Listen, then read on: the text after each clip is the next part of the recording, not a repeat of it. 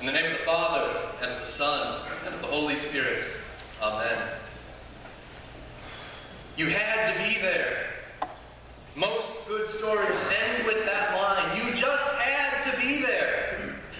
Maybe it's the story of a fishing trip and the one that got away. Maybe it's a legendary adventure with friends or a family vacation. We all admit that the stories are never quite the same thing as being there, live and in person. Now, normally this is not too big of a problem. We listen to someone's story, we appreciate it, we might even enjoy it, but part of us is thinking, that does sound fun, but I really didn't need to be there. However, given that you're all sitting in church, and it is Sunday morning, I think you can all with at least one story for which you really do wish you had been there. The life, death, and resurrection of Christ would be a good choice. For after all, you were not in that little town of Bethlehem.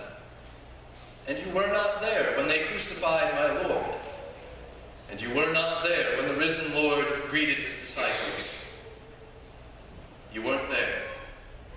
Instead, you are here.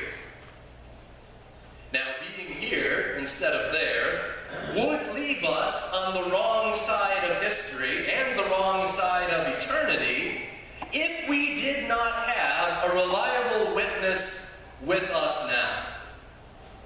Praise be to God. Here this morning, we have the Holy Spirit and the inspired, inerrant testimony of the witnesses who were there.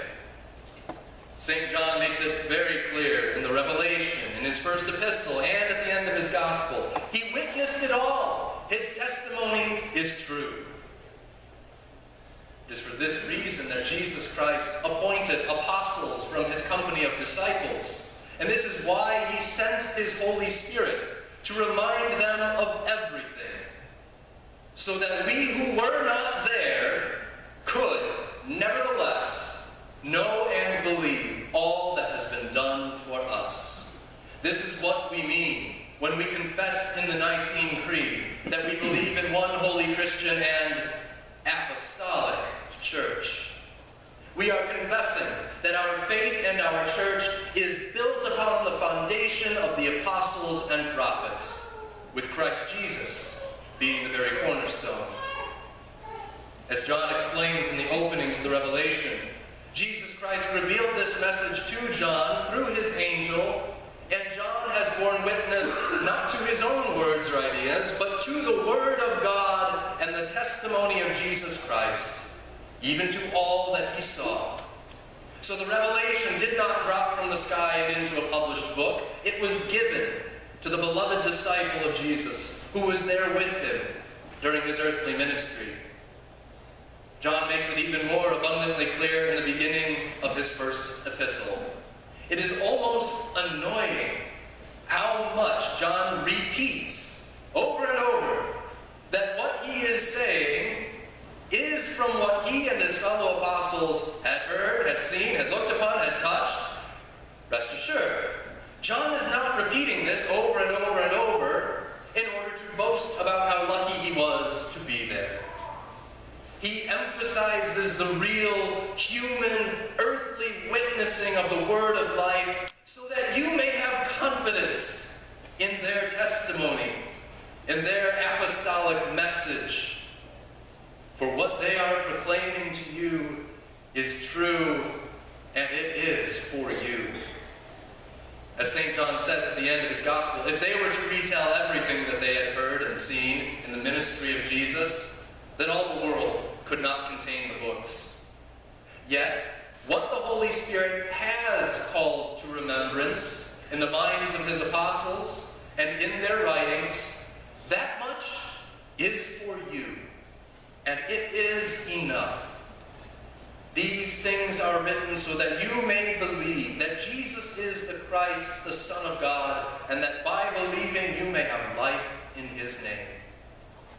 You just had to be there. But since you were not, Jesus Christ sent his chosen apostles to bring this very word of God to your ears and into your hearts, so that even though you were not there, the Holy Spirit who was may create faith in your heart to trust in this Christ, the Son of God.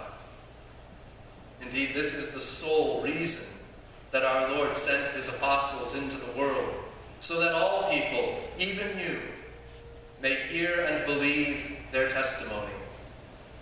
St. John says in his epistle, That which we, the apostles, have seen and heard, we proclaim also to you, so that you too may have fellowship with us.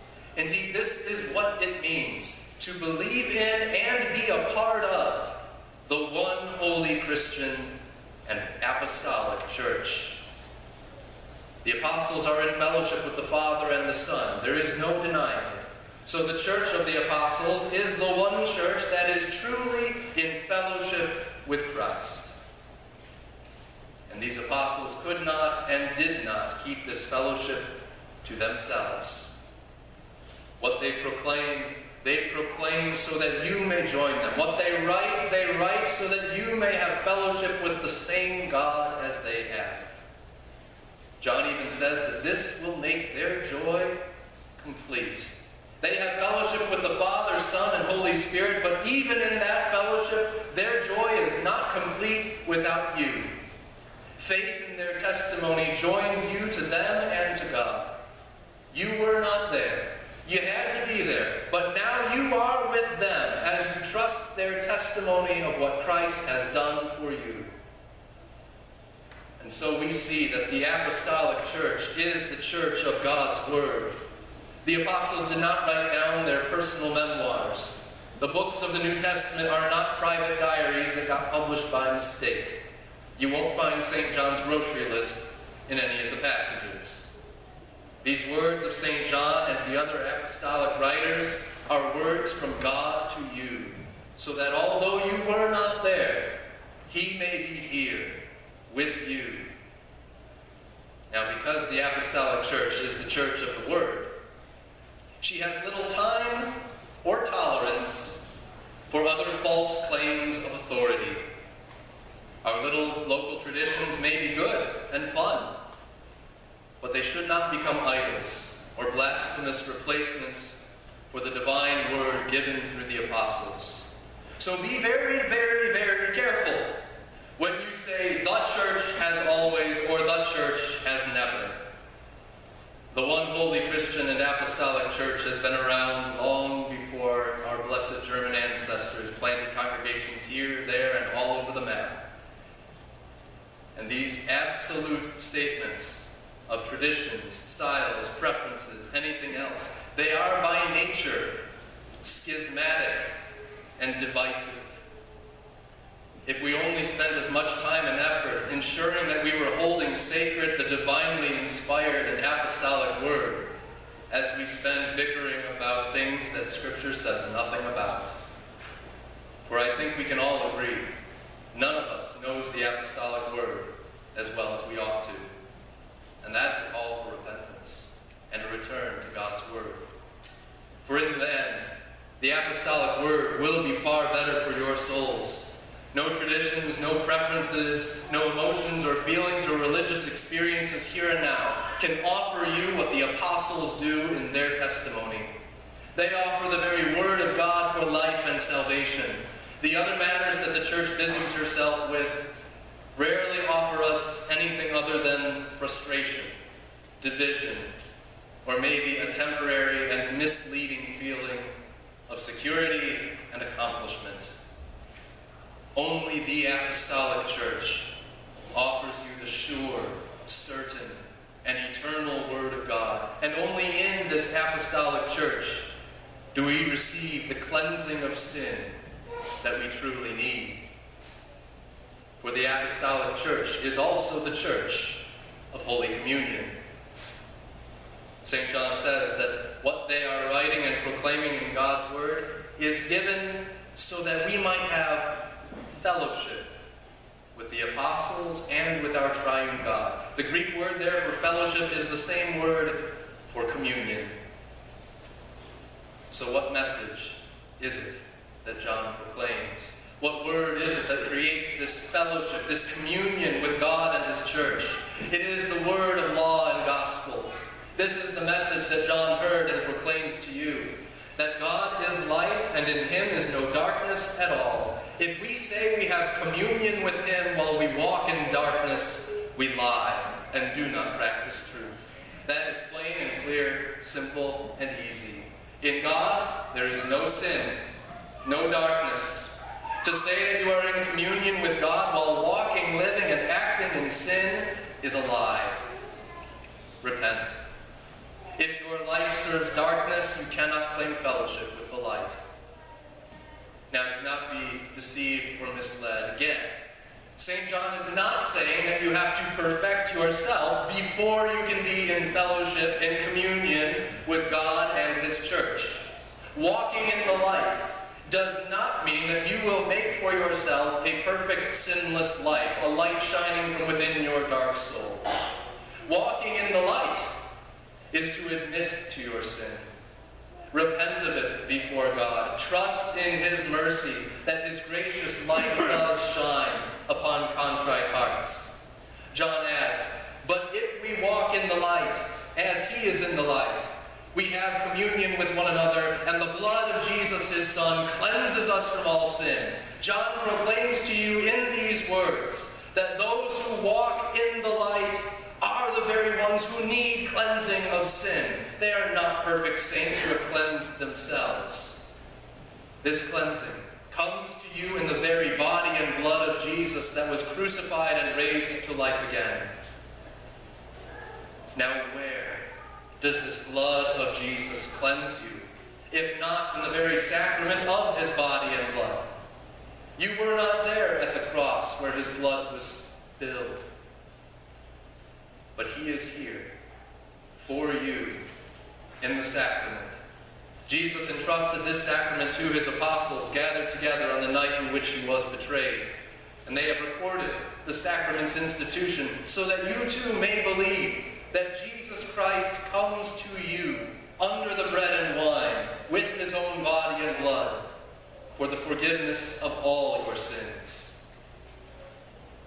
Now, because we come to this table as people in need of cleansing, as people who have broken God's law, we come with repentance and with faith in his mercy. For this reason, the Apostolic Church is also the church of confession and absolution. You heard in our confession and absolution this morning the very words from 1 John 1. And then in our lesson, you heard the Apostle's gentle plea and his comforting message. My little children, I am writing these things to you so that you may not sin. But if anyone does sin, we have an advocate with the Father, Jesus Christ the righteous one. So when the one holy Christian and apostolic church gathers together for worship, we gather in repentance. Mercifully forgive us and cleanse us. We hear the testimony of the apostles, the very word of God that forgives our sins.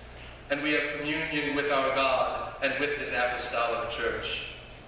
You just had to be there, back in Bethlehem, Jerusalem, and Galilee, since you weren't, your Lord comes to you here and now. He brings assurance, comfort, and consolation through his apostolic word. He brings forgiveness, life, and salvation in his sacraments.